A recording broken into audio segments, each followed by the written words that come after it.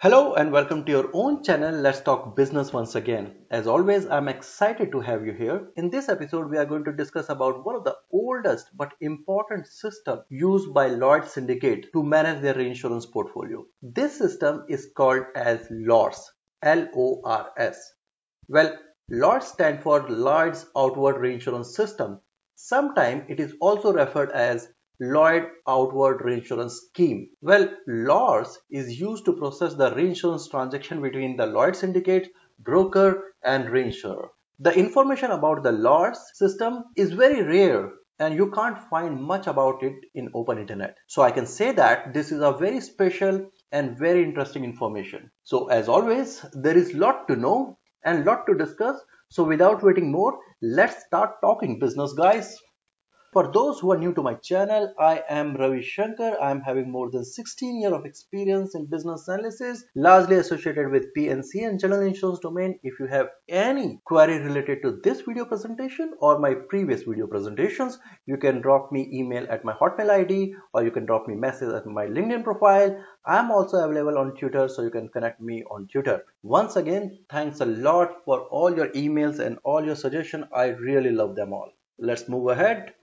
So since we are going to talk about the reinsurance system, I would like you to see first this short video presentation from CII on RI introduction. But before that, let me tell you some interesting fact about the CII logo.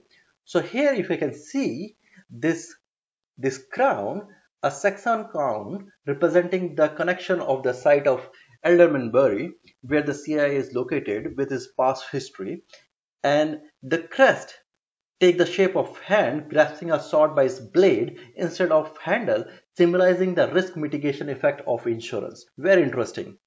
So now have a look to this short video presentation from CII about the RI introduction.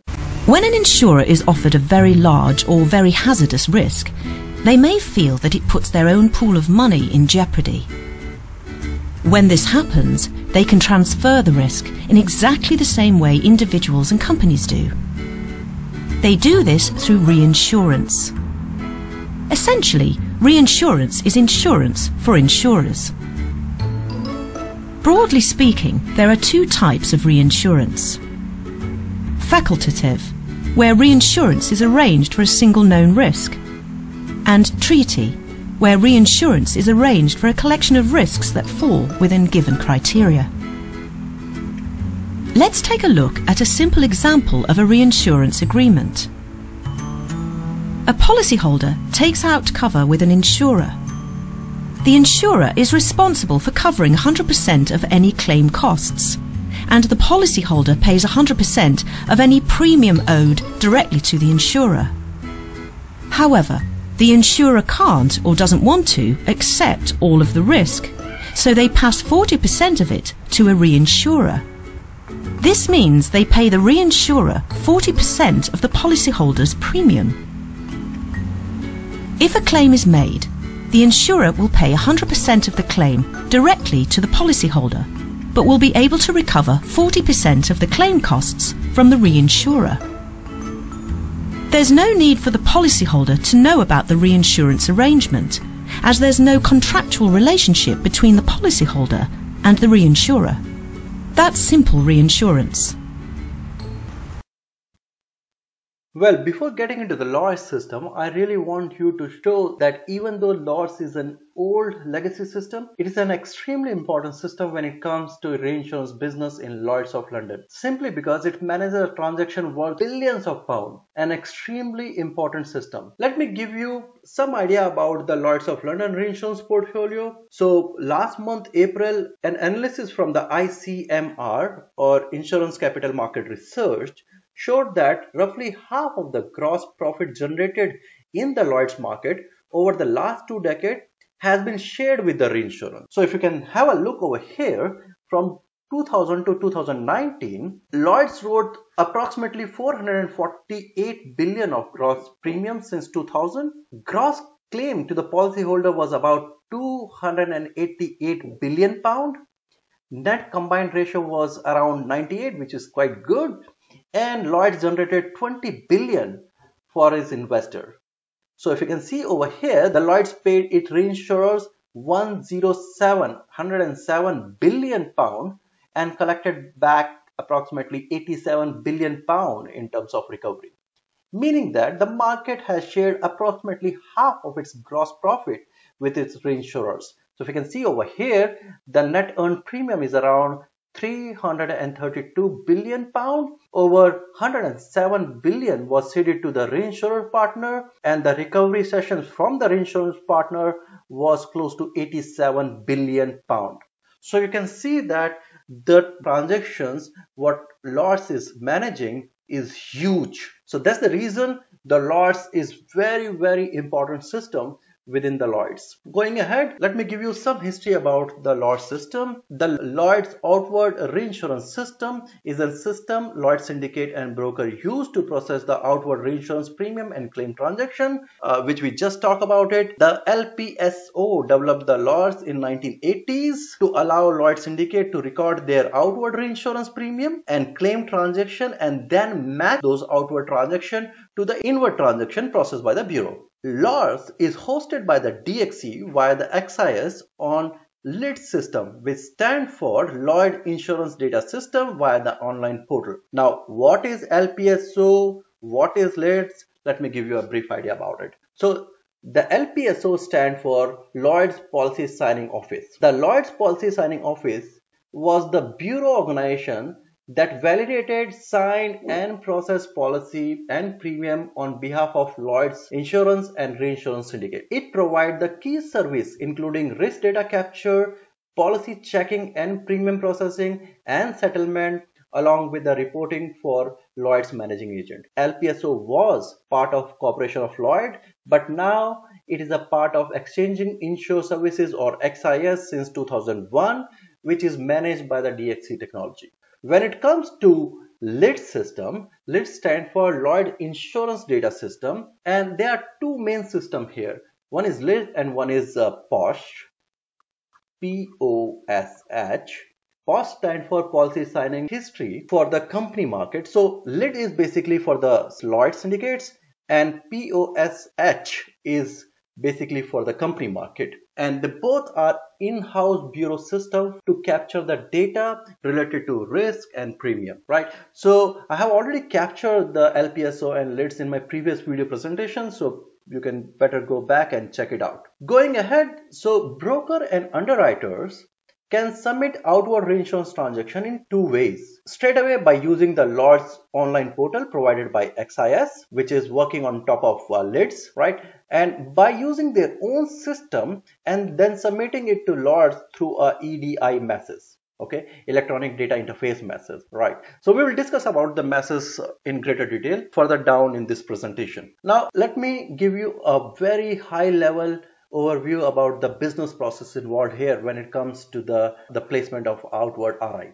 So the actors involved here, syndicates, broker, and the reinsurer. Now the syndicate use LORS to instruct the specialized reinsurance broker or broker to find and place the reinsurance on their current risk exposure. So they request to place the RI to the broker over here. Then the broker prepared the RI placement document. Now the broker tried to find the appropriate reinsurance by approaching the syndicates or companies that are either specialized in reinsurance or specialized both direct insurance and reinsurance to obtain 100% placement. Now this process is same as when the broker tried to obtain 100% direct insurance through syndication process. The syndication process is you have a risk. So syndicate 1 is holding like 10%, 10%, 50% and then 30% syndicate uh, 3 and syndicate 4 so this entire process is called as syndication. Now once the broker managed to obtain the full 100% subscription in the form of quote for the reinsurance contract they will provide the information to the syndicate. Now here, the syndicate will review the proposal and its terms and condition, etc. They could reject one or two reinsurance proposal and then if they are rejecting some proposal, in that case the broker must place the reinsurance with more favorable choices. So say for example, as I said, if reinsurer said that no, there is further more refinement is required, then the broker will go and prepare the document again produced same reinsurer or new reinsurer and then the syndicate will review again with the broker to see if the terms and conditions are favorable or not. If the syndicate approves the proposal, then they will instruct the broker to create the premium debit entry in LORS system. The broker will then create the premium debit entry in LORS system either directly via the XIS online portal or through EDI message I explained earlier. And once the broker created the debit entry in the LORS system, it will go to the syndicate for further approval and once the syndicate approves this proposal then the process will get closed. So what will happen after that? What is the settlement process? So once the agreement is done the LORS item is completed and the item sent to xis lids to generate the usm which will be sent to the syndicate in the following morning and subsequently trigger the central settlement. Now, what is central settlement? What is reinsurance? I have already covered, but I will give you a brief background about it. Now, after three working days, the STFO, Lloyd Central Settlement, debit the premium from the syndicate and credit it to the broker account. And finally, the broker will pay the premium to the reinsurer, right? So the syndicate, the broker and the RI partner. So syndicate will pay to broker and the broker will pay to RI and this entire transaction will be facilitated by the STFO. Well, what is USM? What is STFO? Let me give you a quick background about it. The USM stands for the underwriting signing message. The Lloyd's underwriting signing message is generated when the brokers submit the MRC, which stand for Market Reform Contract, to XIS service for the processing of signing data capture on the Lloyd's Insurance Data System or LID system, which I just explained. Uh, once the risk information is captured, the LID system will send the messages which carries the risk, premium, and all supporting policy information in the form of USM message to all the syndicate involved. So as I said earlier, I have already covered the messaging in detail, so you can check my previous video presentations. So now let's talk about the STFO over here. What is this STFO? So STFO stands for Lloyd Settlement Trust Fund Office. The Lloyd Settlement Trust Fund Office is a department within the Corporation of Lloyds that manages the Lloyd's central settlement for premium and claim payment for the Lloyd syndicate. It's managed by the DXC technology through XIS and XCS services. The XIS submit the electronic messages daily to STFO for premium and claim payment or you can say that settlement. Going ahead, let's quickly talk about the claim recovery process. So when the syndicate is presented with a claim for the inward and direct insurance by the broker, the claim will be processed through ECF, which stands for Electronic Claim File System. The ECF stands for Electronic Claim File System, and this is the combination of IMR, Insured Market Repository, where broker upload all the information related to the claim and the claim loss advice and settlement system or class system this is the main system where all the claim information is recorded this is the very high level process where the syndicate is involved, broker is involved, reinsurance is involved. The syndicate asks the broker to create the reinsurance claim credit in LORS system to process the reinsurance claim. So basically, the syndicate is requesting the RI claim credit for the claim what it received. The broker will prepare the RI claim credit and then it will take the RI claim information to the reinsurer for their review and payment of the claim. So once the broker obtained the agreement for the claim from the reinsurer, then the reinsurer will pay the recovery cessions to the broker. Now the broker receive the claim payment from the reinsurer and create the Lloyd's credit over here and then once everything is okay, the syndicate verified this Lloyd's credit, then the settlement process will continue for the cession recovery else it will throw back the entire process again to the broker in order to rectify the, the problems within the claim credit. The Lloyd Central Settlement debit the broker on the settlement day to credit the syndicates. Now what will happen over here, if you can see, the syndicate, broker and RI. So syndicate paid the cession to broker and broker paid the cession to RI partners. When it comes to the recovery cession, RI pays the recovery to the broker and the broker pays the recovery back to the syndicate. And this entire transaction will be facilitated by the STFO, right? So if you can see over here, the broker plays a very important and central role when it's come to the settlement of the reinsurance. Now in next slide, we will talk about the messages involved in the LORS system. Oh, before that, as I said, the RIUSM will be generated by the LIDS for the syndicate record purpose and STFO after 3 working days. Debit the RI recovery amount from the broker account and credit to the syndicate account. Now let's talk about the messages involved in LORS. So there are six important messages involved here. LIMRIA, LLD-UWR, LIMRES, RIUSM, LIM-RIS, LIM-RIN. Limria is basically to let syndicate know that there is a RI atom waiting for their action. LLD UWR is basically a response message generated by the syndicate system to update the LORS system. LIMRES is basically a confirmation message generated by LORS system to acknowledge syndicates whether they have received it, the information from syndicate.